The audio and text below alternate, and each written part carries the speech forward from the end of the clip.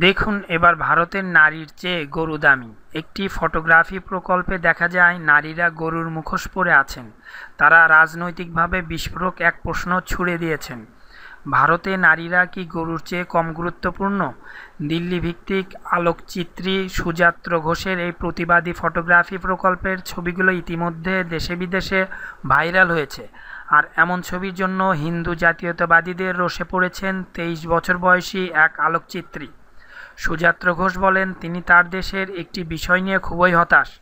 তা হলো, ভারতে একজন নারীর চেয়ে গরুকে বেশি গুরুত্ব দেওয়া হয়। একটি গরু সংক্রান্ত ঘটনার চেয়ে ধর্ষণ বা নিগ্রহের শিকার হওয়া একজন নারীর বিচার পেতে অনেক সময় লেগে যায়।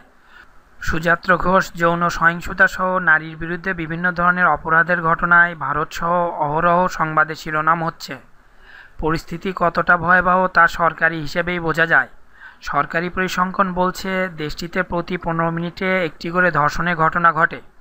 সুযাত্র ঘোষের ভাষ্য, অপরাধীদের শাস্তি দেওয়ার আগে বছরের পর বছর ধরে নারীর নির্যাতন সংক্রান্ত মামলাগুলো আদালতে চলতে থাকে। অন্যদিকে যখন একটি গরু জবাই হয়, হিন্দু, উগ্রবাদী গোষ্ঠীরা তাৎক্ষণিকভাবে প্রতিক্রিয়া দেখায়।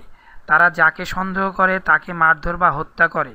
বিশেষ করে নরেন্দ্র মোদীর নেতৃত্বাধীন বিজেপি সরকার ক্ষমতায় আসার পর ভারতে গরু রক্ষা নিয়ে হিন্দুত্ববাদীদের বাড়াবাড়ি বেড়ে গেছে।